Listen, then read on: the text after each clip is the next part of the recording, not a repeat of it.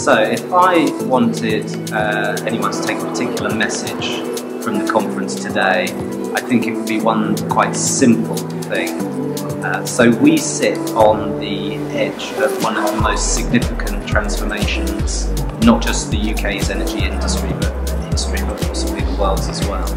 Uh, so, really, the future requires quite a unique set of skills and talent to take it forward. Uh, and there's a gap. There's a gap between what the industry needs and the talent pool that it can currently access. So really the opportunity, especially for the students at Warwick, is to fill that gap. And it's more than just having the technical or the kind of commercial understanding and knowledge. It's really about applying the skills that you're learning about through this course in a very creative way to solve some of the future challenges which we've got as an industry.